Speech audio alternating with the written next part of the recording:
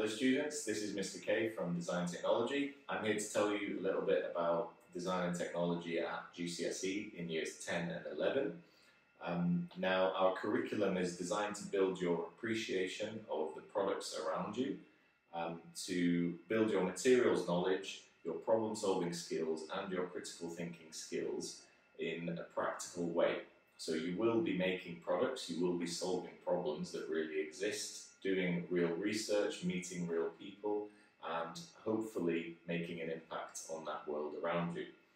A successful DT student should be interested in the world around them, be creative and innovative, uh, be a critical thinker and a problem solver, well organised and willing to put the effort in to their work.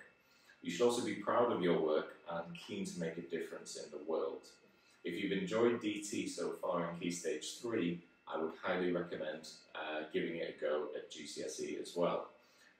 Following GCSE, you could be looking at careers in product design, engineering, architecture, interior design, applied maths and science jobs, business and entrepreneurship, and art and design careers as well. These are all linked to our course. Now, in year 10, um, you have the opportunity to, to actually have three DT lessons a week rather than the one we currently have. That opens up our time to allow much more interesting, much more in-depth and detailed projects, as well as more open-ended projects. So you will be able to choose very much how your project flows and what you make of it. You'll be using more professional tools and software such as 3D CAD uh, 3D printing, and you'll be doing more electronics projects, uh, learning about plastics, woods and materials and all of the processes that, that go into that. Um, and we'll cover a range of projects similar to what you have already done, just at a higher level in year 10.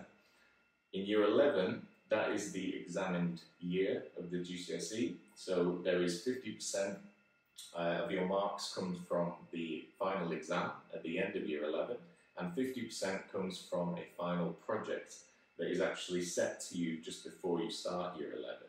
Now you get given a theme and this theme could be anything um, and we don't know what your theme is going to be.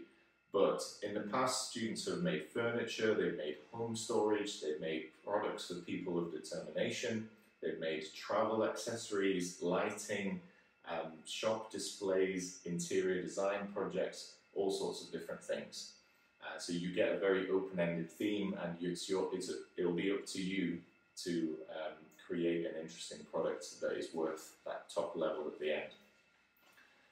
Now, the assessment all happens in year 11, so you've got plenty of time to get ready for it, and uh, year 10 will be uh, a stepping stone up into that that higher end DT work that is designed to build your knowledge and give you an appreciation of all those um, topics that I've mentioned and allow you to also choose your specialist material. So it could be woods, it could be plastics, it could be papers and boards as well for modelling, it could be more digital and electronic, and you'll all have the opportunities to build those skills in DT. So if you're interested, um, please speak to me and I'll happily give you a little guide like this which explains everything I've just said as well and you can take that home. Um, any questions, don't, don't hesitate to ask me in DT.